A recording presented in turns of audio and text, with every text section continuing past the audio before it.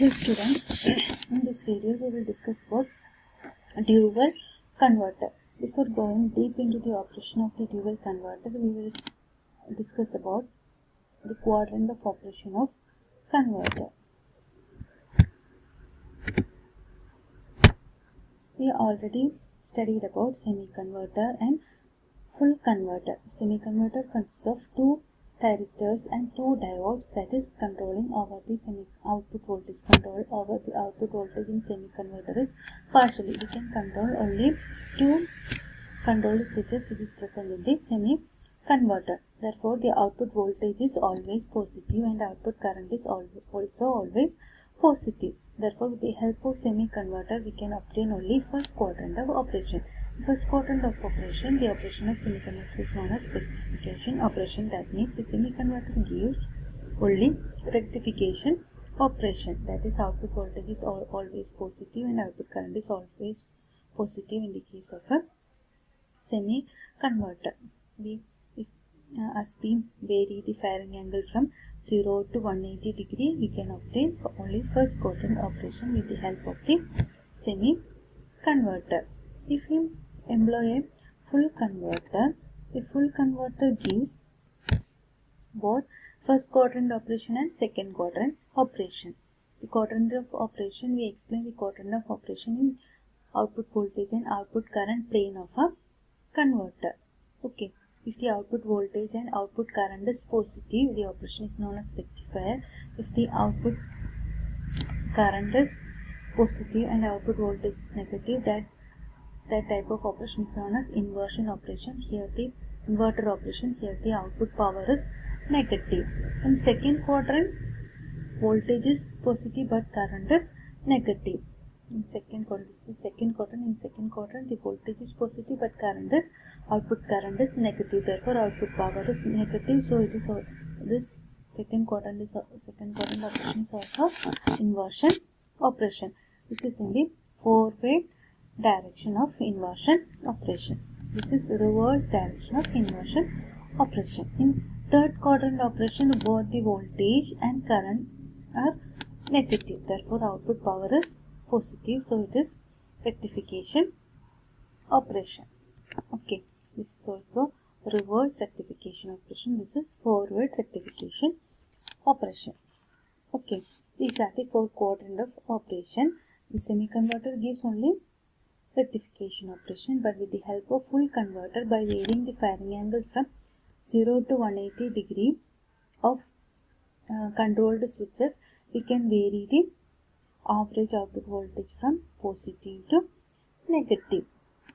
Okay we can obtain both positive voltage and negative voltage with the help of a full converter the full converter consists of four controlled switches. If we vary the firing angle of the controlled switches from 0 to 90 degree, the output voltage is positive and output current is positive.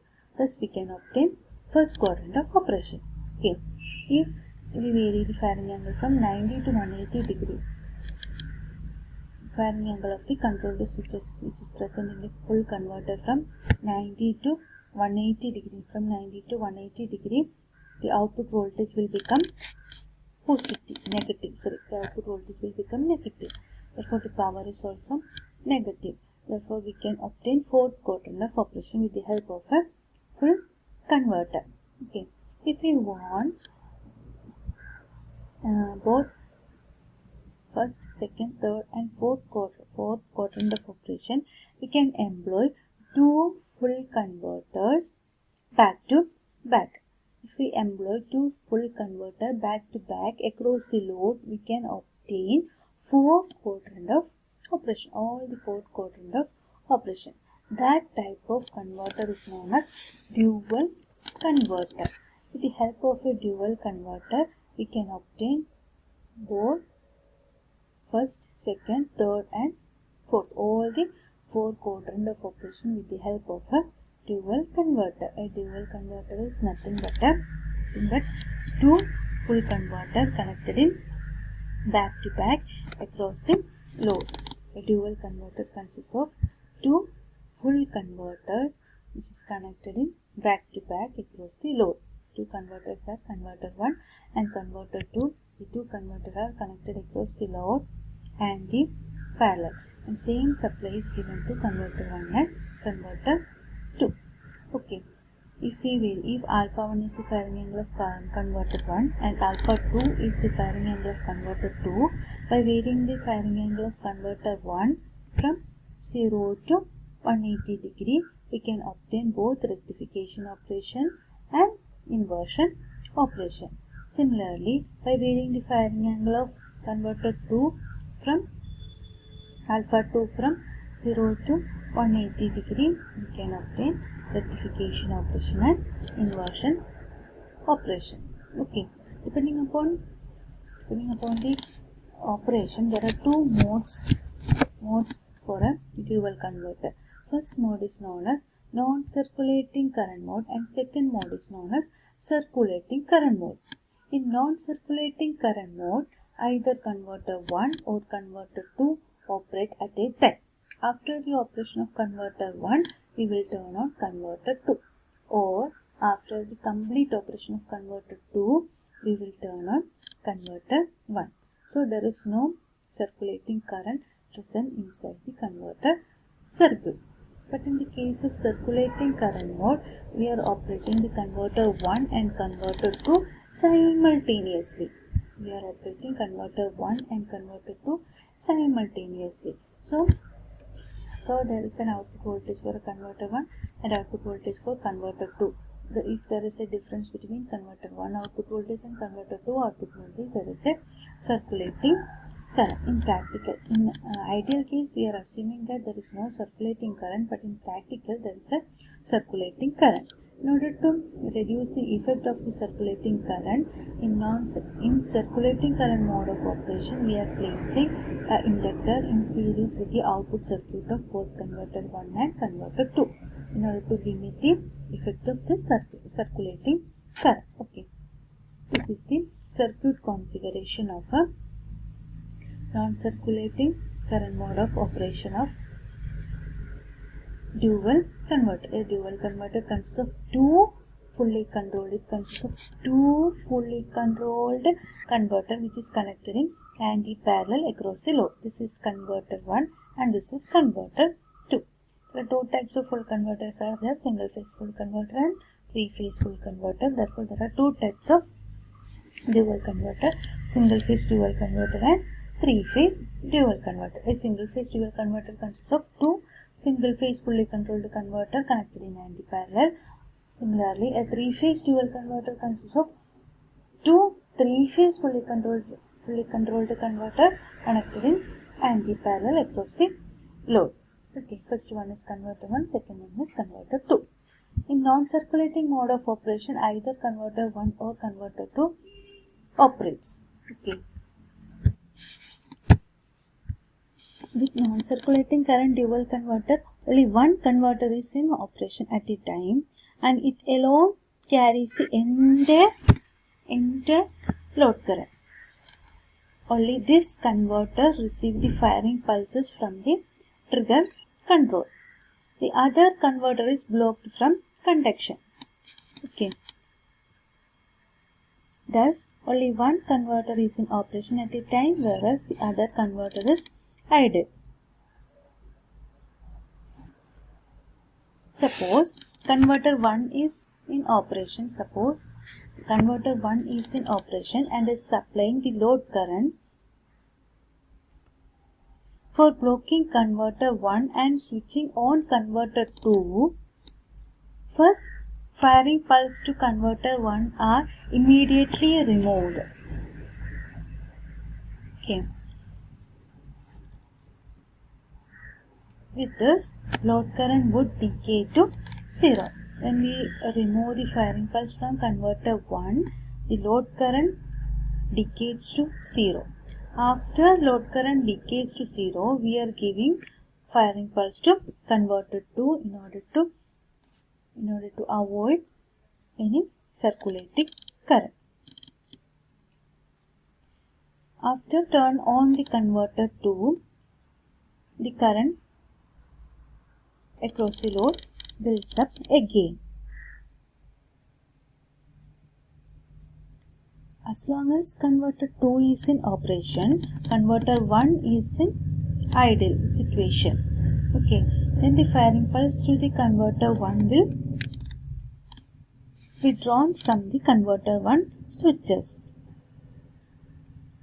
we can ensure this operation during this changeover from one converter to the other the load current must decay to zero after the outgoing converter has stopped conducting, a delay time of 10 to 20 milliseconds is introduced before turning on the